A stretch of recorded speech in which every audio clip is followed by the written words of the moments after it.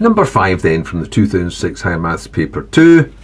Here you've got the equation for the derivatives on a curve. You've to find the equation of the curve itself, given that the curve passes through this point.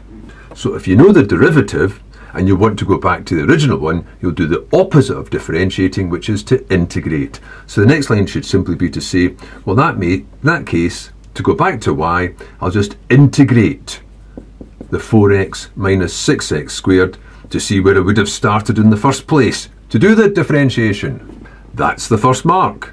Strictly speaking, just knowing to integrate is the first mark, even if you don't write this bit. But I think you should consider it as that's the first mark, knowing to integrate to go back to the original. Just a wee note here. This is actually called a differential equation. To get back to y, strictly speaking, what you do is this. You've got dy by dx equals whatever its formula is. Taking the dx across and multiplying gives you dy equals 4x minus 6x squared all times dx. These are the differentials. And to bring them back up again, you then integrate both sides. Now the integral of dy, just like the integral of dx, which you consider like a 1 dx gives you an x, the integral of dy goes back to y, and then that's just the standard form for integrating this expression. Still, you don't need to know that. You just think, how do I go back again? Do the opposite, integrate. Now integrate. Remember, integrate, build it up, the powers go up add 1 to the power, so it goes up to x squared, and divide by that 2. Maybe I'll just show it just now. Divide by the 2. Go up to power 3 and divide by that 3.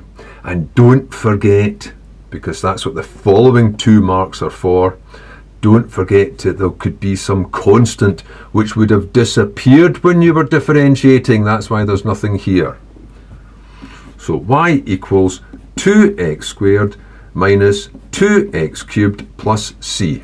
Now that's the second mark. Strange in the marking schema doesn't have this little c mentioned at this stage. The marks just seem to be for processing this part of it. Geometrically, this stands for a whole family of curves. Notice they're cubic curves. They're upside down cubes. A cubic curve looks like that. This will be an upside down cubic curve. So it'll look like this. And that plus c at the end simply means, well, if there was no c there at all, if there's nothing there at all to go through the origin, I'm not sure what it actually looks like, I'll just pretend it looks like this. But the whole family is, well, depending what c is, you'll just have parallel repetitions of this. Any of these curves could be the one that you want. And what this part here says you want the one that goes through the point negative 1, 9, that goes through negative 1, 9. In other words, this is the one you want. Still, just feeding those numbers in, which is what you'd probably naturally do, you'd say, well, negative 1, 9 means I can figure out what C is. There are three letters in this. If I want one of them, I need to replace two of them with numbers. Well, I can put negative 1 for x, 9 for y, and that'll just leave me c, and then that'll be it done. So that's what you do. So y will be 9. x, I'll just put that in, will be a negative 1 minus 2 times another negative 1 plus c. Doing that gets the third mark. Well, that's a positive 1, so that's a 2. That's a negative 1, but subtract it, so that's another 2. We could put it down, I suppose. That's a 2 plus a 2 plus a c, which means c equals, take the 4 across, c equals 5.